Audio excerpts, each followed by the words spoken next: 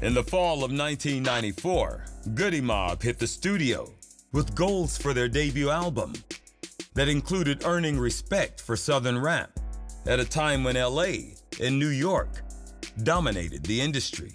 We're from the city of civil rights. We had so many leaders come from this city, and it was also about us for making sure that we represented our city right. We were obviously Southern. You know what I'm saying? a part of what our assertion was is to draw the definitive line between Southern and country because we took country as condescending. It was a pivotal moment in hip hop and especially for the South because people in the South, you know, we always showed love to people from LA, from New York, and it was finally, finally our time to shine. And we say we're gonna make it our business to be better than everything in New York, everything on the West. And the group channeled that drive into its lead single, produced by Organized Noise, called Cell Therapy. Man, cell therapy changed music. Dum, dum, dum, dum.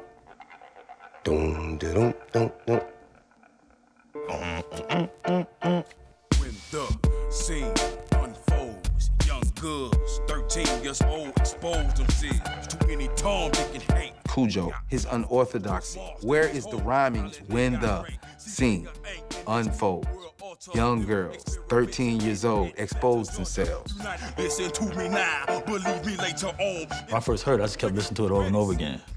I was like, man, this sound, this is insane. Goodie Mob was just so hard with it and then so hood with it, but still intellectually intriguing. Got an eye on every move I make.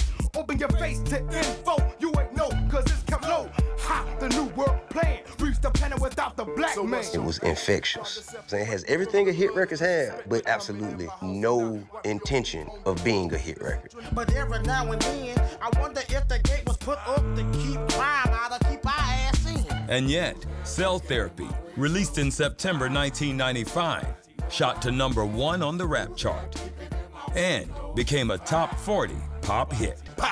Who's that peeking in my window? Nobody. Who's that peeking in my window? Wow, we got the number one song. Oh my goodness. Cell therapy was totally talking about life, not the club. And it went number one.